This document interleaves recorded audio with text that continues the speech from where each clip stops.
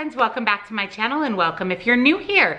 My name is Jen, I'm a certified weight loss and nutrition coach and I'm on the WW or the Weight Watchers Blue Plan. It's Friday, so it's another weigh-in day. I'm gonna talk to you guys about my week. We'll set some goals for next week. We'll deep dive into the WW workshop topic. And of course, I'll share this week's weigh-in results for you. This is week two weigh-in of 2021. So I'm excited to share how things went with you. So if you're excited for today's video, please give it a big, huge thumbs up. It really helps me out and kind of lets me know to continue doing these Friday weigh-in videos. And if you're not yet subscribed, of course, I'd absolutely love to have you join my community. Hit the little subscribe button and the bell next to it, and you'll be notified whenever new videos are uploaded. Check out the description box down below for my custom 2021 calendar. I'm loving it. You guys are loving it. It's such a great tool moving into the new year and it's not too late to get it. I'm shipping same day, so you'll have it with just in a couple of days. You'll be geared up and ready to have a successful 2021. Also in the description box, you'll find my nutrition coaching where I offer one-on-one -on -one coaching sessions in both 30 and 60 minute sessions, as well as personalized macro and calorie calculation. Really important to know where you should fall every day, calories and macros. So I'd love to figure that out for you. And again, get you off to a fantastic start in the new year. You'll also find links and discount codes to my favorite things, as well as my Facebook group, another community that would be honored to have you. So head on over and join us. So we have a weigh-in to do, a workshop topic to discuss, and let me tell you all about my week because it was an interesting one.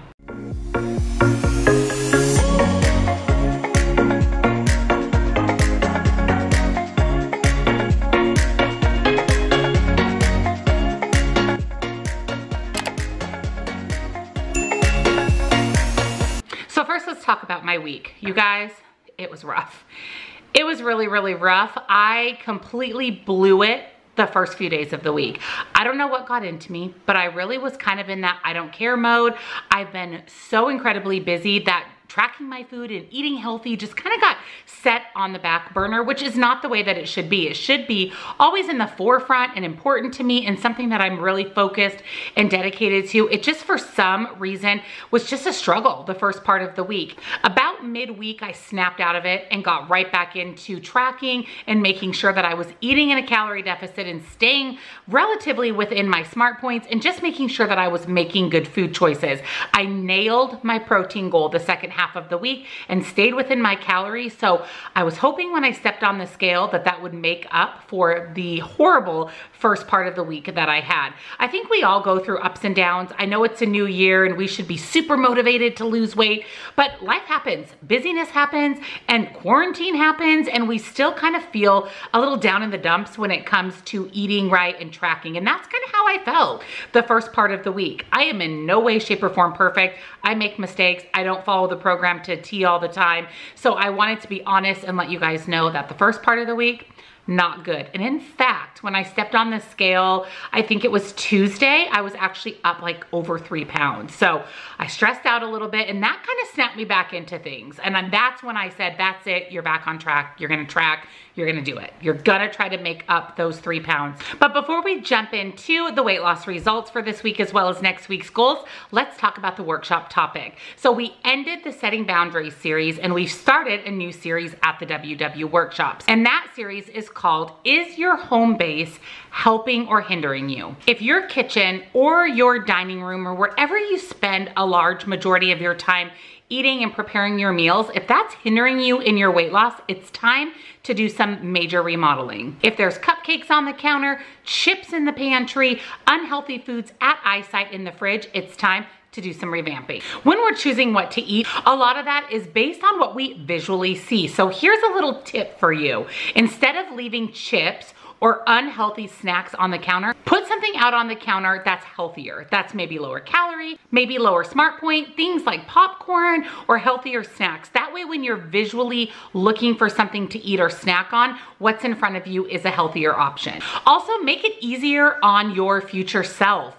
Set yourself up for success. You guys hear me say all the time on my channel, if you fail to plan, you plan to fail. So instead of going to bed without setting yourself up for success in the morning, maybe putting putting together what you're going to have for breakfast and setting it out on the counter or maybe even putting the pan and the cooking utensil on the stove, set yourself up for success the night before. Get your kitchen ready for the morning. You can even go as far as making your breakfast in advance. How about putting together some overnight oats and throwing them in the fridge right in front of you so when you open the fridge the next morning, you're reminded that breakfast is ready, whether that's on the go or sitting down at home, overnight oats are ready to go. And the next tip is disrupt the default. And what this means is basically make it harder on yourself to choose the unhealthier option. So for example, instead of setting a pan of brownies out on the counter, how about cutting them up, wrapping them individually and freezing them individually. That way you're mindfully selecting one brownie out of your freezer and you actually have to unthaw it before you can eat it rather than mindlessly scooping and picking at the pan of brownies on your kitchen counter. And the last hack is make designated zones. So instead of snacking while you're cooking, because we tend to take little bites and taste, we obviously wanna try what we're preparing. How about setting yourself a designated eating zone? That's the kitchen table. No snacking, no bites, no licks, no tastes, no eating at all unless you're sitting at your kitchen table. That way you've made designated zones where it's okay to consume your food. That will prevent you from mindlessly snacking and again, taking those little bites, licks, and tastes. Honestly, the easier the choice is, the more likely we're to make it. We always as human beings will take the path of least resistance. So set yourself up in your home when it comes to making healthier choices easy, much easier than the unhealthy choices. I think these tips are great and I'm really glad that we're starting this hitting the reset type of series with WW because even though it's the first of the year, a lot of people haven't actually hit the reset button. They haven't started their healthy lifestyle journey in 2021. So now it's time and I'm glad that WW is putting out this series. So now let's talk about my weigh-in. So like I mentioned early in the week, Tuesday, I weighed myself and I was up a little over three pounds, 3.2 to be exact. And that's what snap me back into reality. And I wanna touch a little bit on the scale. Some people can be addicted to the scale and the scale can make their entire day good, bad, or indifferent.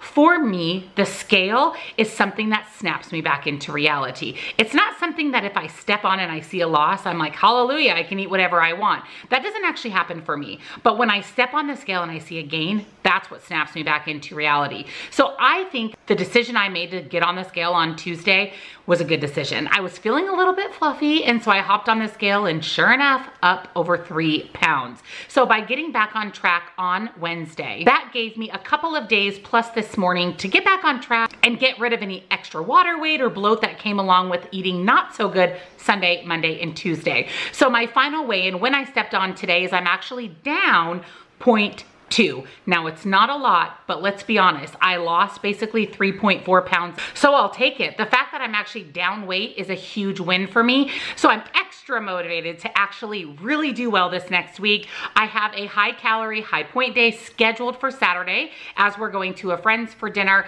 but other than that, I have it mapped out for the next week to stay within my calories and where I need to be point-wise to see a bigger loss on the scale. But I'm relieved in a sense that I was still able to lose weight. So it's kind proof that you can make some mistakes. It doesn't completely derail your whole week. Just get back on track.